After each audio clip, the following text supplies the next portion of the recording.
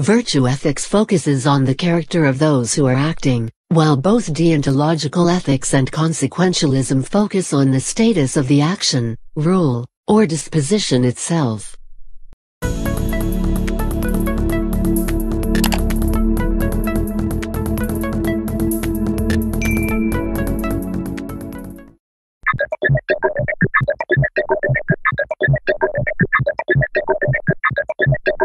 Normative ethics is the study of ethical action.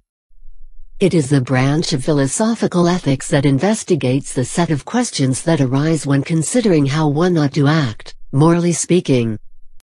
Normative ethics is distinct from metaethics because it examines standards for the rightness and wrongness of actions, while metaethics studies the meaning of moral language and the metaphysics of moral facts. Normative ethics is also distinct from descriptive ethics, as the latter is an empirical investigation of people's moral beliefs. To put it another way, descriptive ethics would be concerned with determining what proportion of people believe that killing is always wrong, while normative ethics is concerned with whether it is correct to hold such a belief. Hence, normative ethics is sometimes called prescriptive, rather than descriptive. However, on certain versions of the metaethical view called moral realism, moral facts are both descriptive and prescriptive at the same time. Most traditional moral theories rest on principles that determine whether an action is right or wrong. Classical theories in this vein include utilitarianism, Kantianism, and some forms of contractarianism. These theories mainly offered the use of overarching moral principles to resolve difficult moral decisions. There are disagreements about what precisely gives an action, rule, or disposition its ethical force. There are three competing views on how moral questions should be answered, along with hybrid positions that combine some elements of each. Virtue ethics focuses on the character of those who are acting, while both deontological ethics and consequentialism focus on the status of the action, rule, or disposition itself. The latter two conceptions of ethics themselves come in various forms.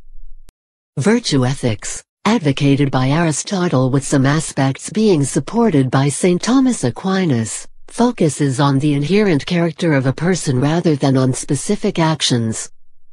There has been a significant revival of virtue ethics in the past half-century, through the work of such philosophers as G. E. M. Anscombe, Philippa Foot, Alasdair MacIntyre, Mortimer J. Adler, Jacques Maritain, Yves Simon, and Rosalind Hursthouse. Deontology argues that decisions should be made considering the factors of one's duties and one's rights. Some deontological theories include Immanuel Kant's categorical imperative, which roots morality in humanity's rational capacity and asserts certain inviolable moral laws. The contractualism of John Rawls, which holds that the moral acts are those that we would all agree to if we were unbiased. Natural rights theories, such that of John Locke or Robert Nozick, which hold that human beings have absolute, natural rights, Consequentialism teleology argues that the morality of an action is contingent on the action's outcome or result. Consequentialist theories, differing in what they consider valuable axiology, include utilitarianism, which holds that an action is right if it leads to the most happiness for the greatest number of people. Historical note prior to the coining of the term consequentialism by Anscombe in 1958 and the adoption of that term in the literature that followed, utilitarianism was the generic term for consequentialism, referring to all theories that promoted maximizing any form of utility, not just those that promoted maximizing happiness. State consequentialism or Mohist consequentialism, which holds that an action is right if it leads to state welfare, through order, material wealth, and population growth. Egoism, the belief that the moral person is a self-interested person, holds that an action is right if it maximizes good for the self. Situation ethics, which holds that the correct action is the one that creates the most loving result, and that love should always be our goal. Intellectualism, which dictates that the best action is the one that best fosters and promotes knowledge. Welfarism, which argues that the best action is the one that most increases economic well-being or welfare.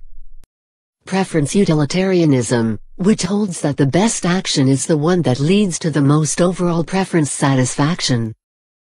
Ethics of care or relational ethics, founded by feminist theorists, notably Carol Gilligan, argues that morality arises out of the experiences of empathy and compassion.